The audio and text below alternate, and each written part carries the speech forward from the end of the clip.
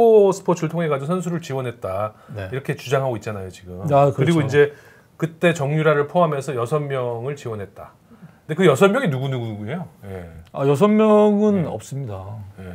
뭐 유령인 거죠 사실. 예, 여섯 명 이렇게 얘기하자면 뭐 정유라, 예.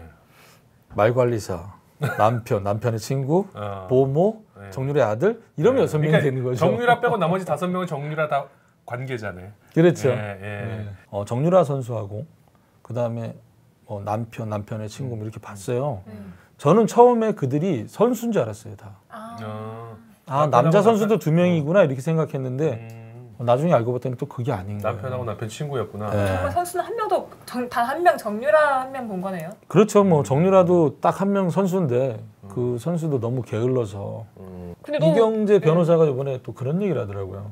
어, 정유라는 훈련을 다 했다. 네. 단지 노승일 부장이 못 볼 때 한 것뿐이다. 아. 라는 얘기를 하는 거예요. 제가 그래서 마구간 옆에 어, 그래서 살았는데. 어, 승마 선수는 단 한 시간만 훈련을 한다. 어. 말이 왜 힘들어해서 그건 알지 않냐? 그건 안다. 네. 그래서 노승일 부장이 못 볼 때 했다. 그래서 제가 또 반박을 했죠.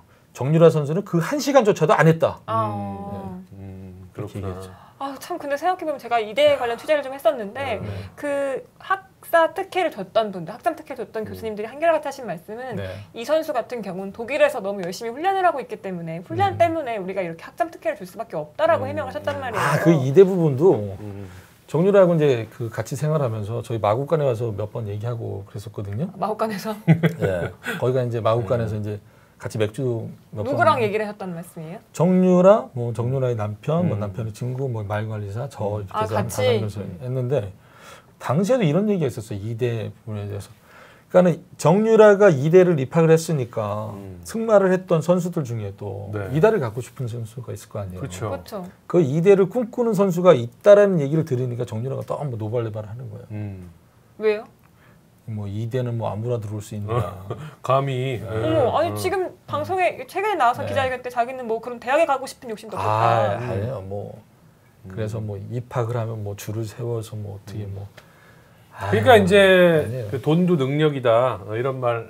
돈도 실력이다. 어, 어, 돈도 실력이라고 그랬나? 예, 그런 그렇죠. 그런 정신 세계에서 나온 말이겠지. 예, 그렇죠. 예.